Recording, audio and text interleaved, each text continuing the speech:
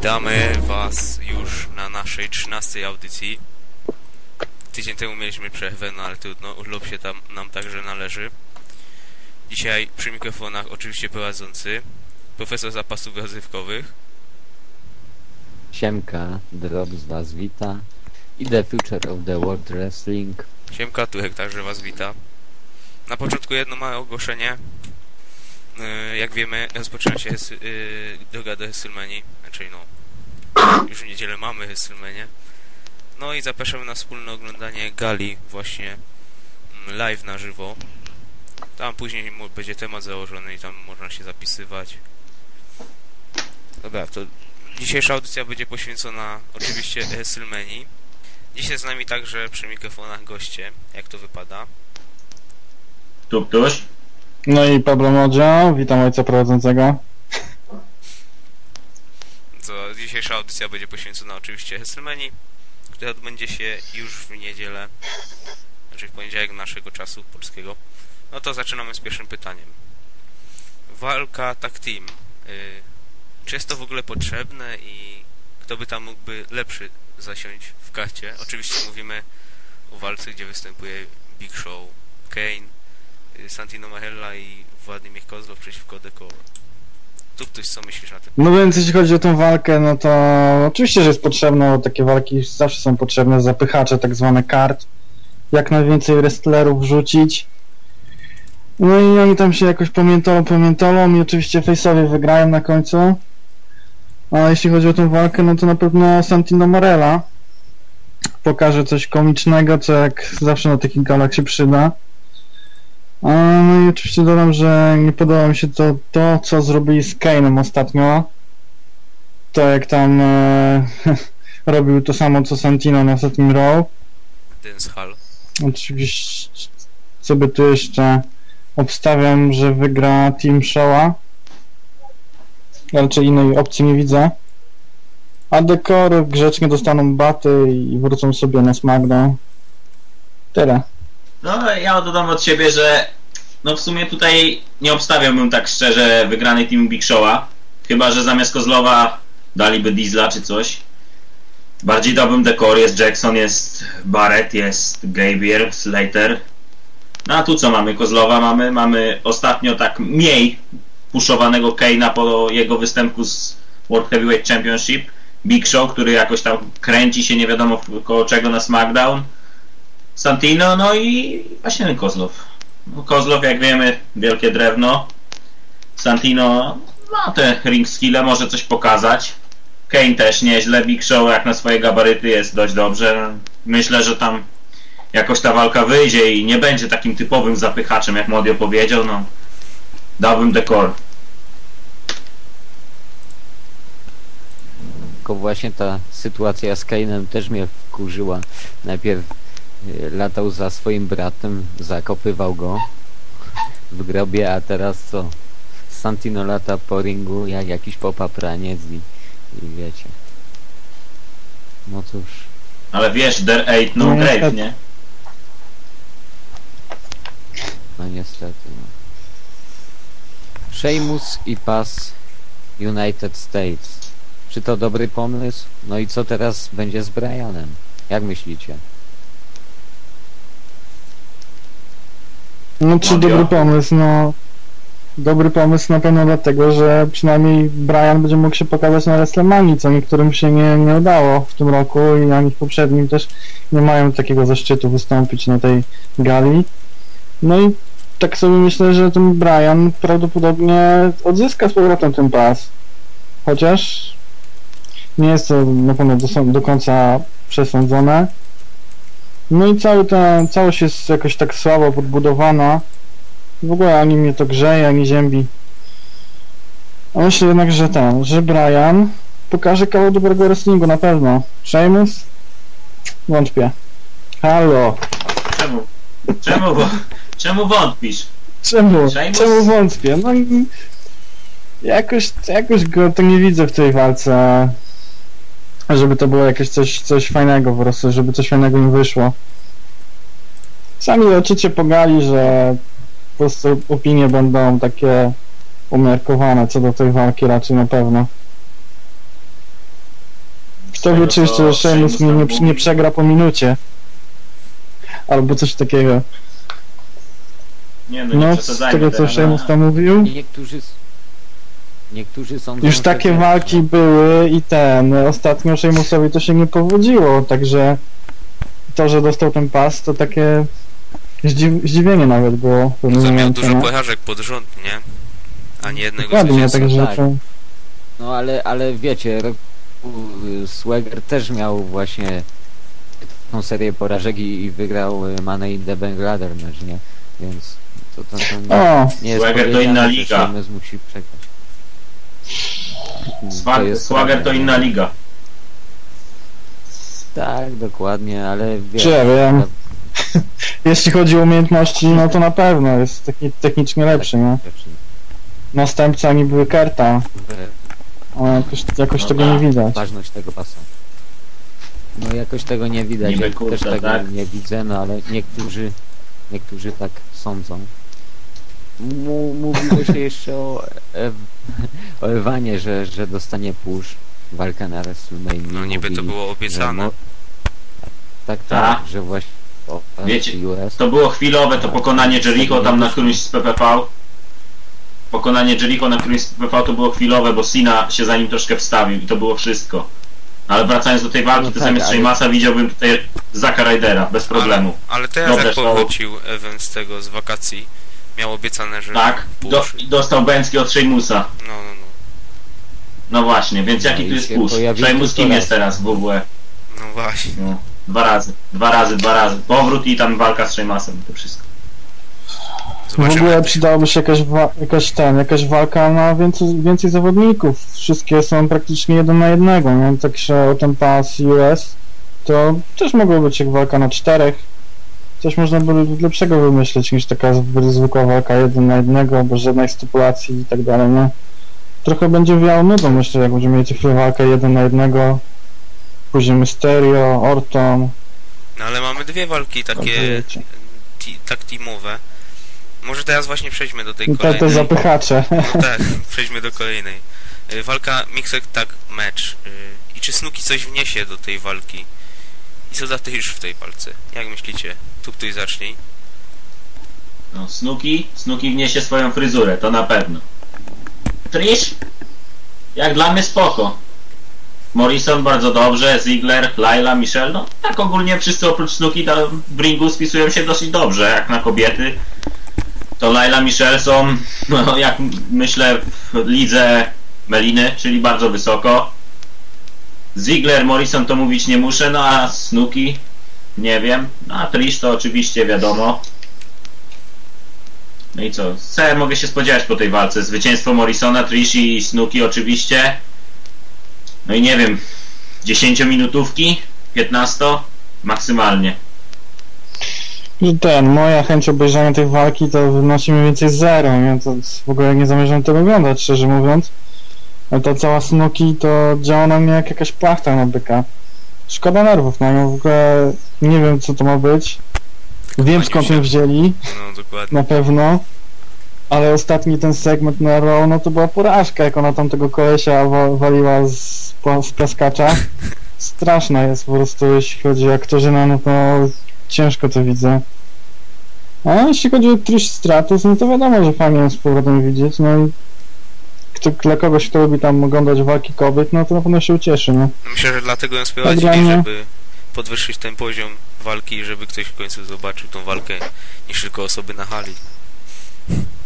W sumie to szkoda mi tylko Morrisona, że musi w takich walkach No uczestniczyć, nie? No właśnie, dlatego, dlatego mnie najbardziej to wkurzy. Czyli no Ziggler Ziggler też i na więcej Morrison. zasługuje. Lepiej- Ja, ja właśnie ten, przed WrestleMania sobie tak marzyłem o takim singles meczu właśnie pomiędzy tymi dwoma, a niestety Mogliby tam Masz dodatek. wcisnąć. Ja ci mówię, Ryder zamiast Sheamasa i dobra walka jest zapewniona bez problemu. No ale on tam za bardzo szans nie ma w tym WWE. Zak, także nie ma Znaczy na ja wiem, bo teraz po tym, po tym jego show na YouTube tam No, no, no. troszkę oglądałem, oglądałem przed chwilą, Triple H się wypowiedział mi z Cena. No coś tam Sina. To, Coś z niego będzie, myślę, jeszcze rok, dwa i Znaczy, no potrzebuje czasu, nie? no. Jeżeli go nie Bardziej obawiam bym się o Briana. No, Brian, no, on też mało, małe szanse dostaje ze strony WWE. Dostał ten pas, trzymał go. No a teraz może się niestety oddalić tutaj od pasa, ale może coś lepszego go spotka, zobaczymy. Ale jak się przekonałem nie na mainstream, więc no po prostu brakuje mu umiejętności Znaczy on nie ma jak się rozkręcić. Nie ma jak Czyli- się rozkręcić po prostu. Nie, no A musi się po prostu dostosować do tego poziomu. No, no właśnie, on tak walczył w tych takich federacjach, to tam tylko jedna gala na miesiąc, czy tam na dwa, no to co ty chcesz, nie? No i tak No. jeździł po tych Stanach i tam świecie. E, no co ty... Ale No, Turek, zrozum, Brian nie ma szans, bo przy Majku kuleje. No, no tak, no ale wiesz, by mogli mu dać chociaż Tu jest największy problem. jakąś szansę, nie? No, no ale technicznie, no to Jak ktoś- nie ma co gadać. Jak ktoś kuleje przy Majku, to mu się daje menadżera oczywiście wtedy, jakiegoś lepszego i za niego gada. Co, może Miss? No Też tak, to jest rozwiązanie. no to co dalej z Reyem Mysterio? Czy ten feud i walka na WrestleMania y, z, Ko- z Codym jest potrzebna? Walka Mysterio Rhodes? Co to jest? Pytam się. Jaki związek tutaj, bo co, Mysterio pokaleczył trochę Rhodesa? Nie, nie rozumiem tego. Wrócił? Kiedy on wrócił? Ili, jak na jakimś SmackDown chyba. Nie wiem, nie oglądałem. No i co to jest za feud? Tam się nic nie dzieje. Rhodes przychodzi, bije JTG, bije kogoś innego, tam za chwilę wchodzi Mysterio, nie wiadomo co się dzieje. Jakaś maska, nie wiem o co chodzi w ogóle. Taki... Coś z niczego walka niepotrzebna moim zdaniem. Rhodes, nie wiem, powinien walczyć z takim, nie wiem, Zigglerem czy innym Jacksonem. Jak dla mnie ta walka naprawdę będzie słaba. Zero akcji, trochę może Misterio poskacze i to będzie wszystko. DiBiase'ego też było, można by było wciągnąć w ten feud. Temu mieli walkę przeciwko sobie, no i z Ortonem na WrestleMania, ale w tym roku też by mogli coś takiego stworzyć. Trzeba jakoś wykorzystać. Odgrzewany kotlet? No, dokładnie. Nie, spra- nie sprawdziłoby się. Ale, no wiesz, no, to jest inny format gwiazd, ale Michaels i Undertaker Teddy jest lepszy od Cody'ego i to był za duży, za duży podział umiejętności. Za duża rozbieżność. No ja sądzę, że Cody tutaj jest właśnie jest postawiony na to, na jego rozwój bardziej, nie? Że to, wydaje mi się, że on wygra tą walkę w ogóle. Jako jeden z helów, healów. I po prostu jakaś taka promocja, jakiś push dla niego. Możliwe, że tak będzie tym razem. Jeśli nie, no to myślę, że to bez sensu w takim razie, nie? Bo Mys- Mysterio nie potrzebuje już żadnej tam, żadnego puszu praktycznie. Jak dla mnie to mógłby zwinąć manatki, już tam wyjechać. Teraz będzie za niego, jak wiadomo, Alberto Del Rio. Grał pierwsze skrzypce, także dla mnie to nie trawię Mysterio, szczerze mówię, i nie lubię jego walk. Zawsze Dobra, byłem jego antyfanem. Rhodes, zap... Rhodes zapowiedział, że zdejmie maskę Mysterio na WrestleMania. Wierzycie? A, no już raz tam ściągnął na SmackDownie, nie? To Czy teraz musiałby tylko pokazać może, twarz. no twarz zdjąć z może, no, no właśnie, ale czy twarz się, czy będzie pokazana twarz? Nie, ja to nie wiadomo. No ale kogo obstawiać, że kto wygra? Mysterio czy Rhodes? Ja myślę, Ja że obstawiam Rhodes. No, chociaż nie wiem jak obstawiałem w tym, ale Też. chyba Rhodesa. W typerze też, da, w typerze też dałem Rhodesa, no ale nie, jakoś nie chce mi się w to wierzyć, chociaż jak wygra, no to będę zadowolony. No, No właśnie. Jak przeglądałem kartę, to stwierdziłem, że za dużo było wygranych tych dobrych, no i postawiłem dla na Rhodesa, że przydałoby się, że jakiś heal wygrał, nie? no to końcu. także wiesz. No tak, ale no, też nie może być tak. Ludziom by też się nie podobało, gdyby wygrywali sami ci dobrzy. Dzieciakom tak, no ale To co, co za dużo, to niezdrowo, nie? dokładnie. Ogólnie. Dobra, to przejdźmy do kolejnej walki. Orton czy CM Punk? Kto jest ważniejszy dla federacji? Pablo, No to chyba wiadomo, kto jest ważniejszy. Wiadomo, że ważniejszy jest Randy Orton. Tylko z tego co wiem, to nie za bardzo mu się podoba to całe fejsowanie. Mm. I on ogólnie mówił nawet, że nie lubi odgrywać e, roli tego dobrego, co zresztą chyba widać. A no, najbardziej to mnie rażą to krzyki dzieci, Randy, Randy, Randy, z trybą to po prostu masakra. Jak się przypomnę, przypomnę sobie, co on robił wcześniej na tym ringu z różnymi tymi wrestlerami, co tam Cena i tak dalej. A teraz dzieci popierają jego. No tak łatwo manipulować jednak tymi dziećmi, nie? Amerykańskimi. Ale długo Ogólnie przechodził to.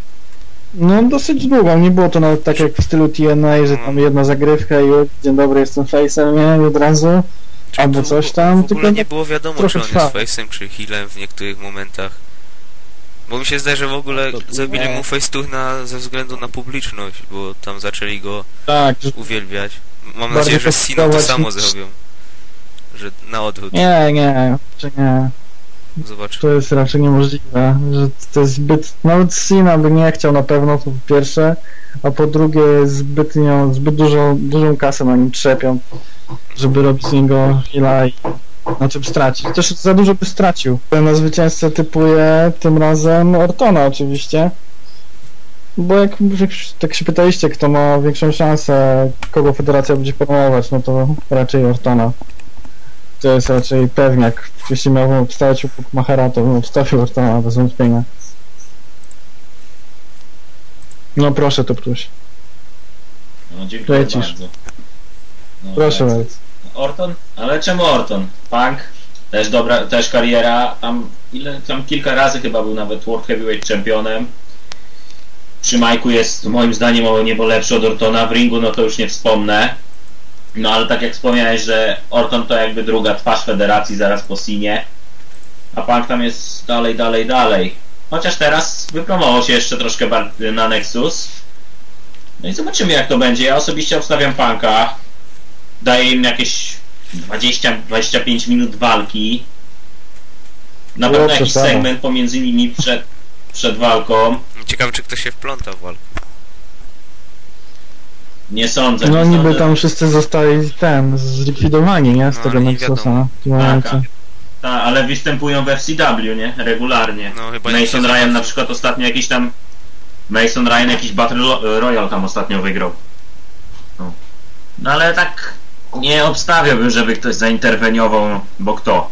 Orton taki trochę dziwny był ten feud, też wyeliminował praktycznie trzech czy tam czterech, czterech członków Nexus sam pojedynkę, nikt mu w tym nie pomagał. A Sina to co na Nie wiem, nie wiem jak to będzie, ale stawiam na Punka i myślę, że coś, coś ciekawego się stanie. Ja również stawiam na Punka, bo już Randy wszystkich wybił z Nexus. Mnie nudzi już ten, więc, ten Handy. a, Boże, jak to mnie było, to ja pierniczę. No ale co zrobić? No, teraz jak Mam nadzieję, że też nie, że nie będą tego ciągnąć. No miejmy nadzieję, że to się skończy. Że to już będzie koniec. Coś trzeba nowego wymyślić dla Hedy'ego, bo jak dla mnie to on mnie nudzi i w ringu i w czasie walki i w czasie Ja, mów, ja mówię Hellturn. No dokładnie. Ja mówię... Jemu mówię by się Hellturn. przydał odpoczynek jakiś ten i powrót później. No jakiś No wielki to wiecie, no, tak od razu tam. Dobra, to przechodź, bo Jakiś krótki odpoczynek i Deus przechodź, bo się ciągnie. Ale jako. Legend Killer. No ale to jako heal już musi. Walka komentatorów. Lawler kontra Cole. Co sądzicie? Co może wnieść do tej Stone Cold? No i oczywiście Jack Swagger. Jak sobie to wyobrażacie? Modio? Tu plus. No jeśli chodzi o cola, to wolę Pepsi. I ten, jak dla mnie to w ogóle to jest nic ciekawego, to wiadomo, walka typowo rozrywkowa, pewnie tam kilka minut, jakieś szarpaniny, coś tam, jakaś interwencja, a później Stone Cold Stunner i tyle, i po sprawie. Wygrano oczywiście Kinga, tak po prostu musi być. Pewniaczek, kolejny, Nie, jeśli chodzi o nie. typowanie. Nie ma. Stanery dwa polecą i po sprawie. I jeszcze na koniec piwko będzie się lało. Tak to będzie wyglądać. Ale czemu dwa? Czemu dwa? Jak to dwa? A ilu masz tam Dwa healów? spanery polecą. No dwa. Jeden No dla dobra, Cola, drugi no dla, dobra, ale- drugi dla Jacka. Nie stawiam, żeby wykonał na Cole'u Stone Cold Stunner. Tam Cola będzie Lawler obwijał cały czas, a Swagger będzie próbował się wmieszać, no i wtedy dopiero Stone Cold zaatakuje. To się- się Nie przekona. sądzę, żeby wykonał na... Nie sądzę, żeby na Cole'u wykonał. On nie jest aż tak, Zakład żeby to- tak zamarkować. A JBL? Takie jednorazowe występy? Tu za dużo nie trzeba, nie wplątać? za dużo nie trzeba.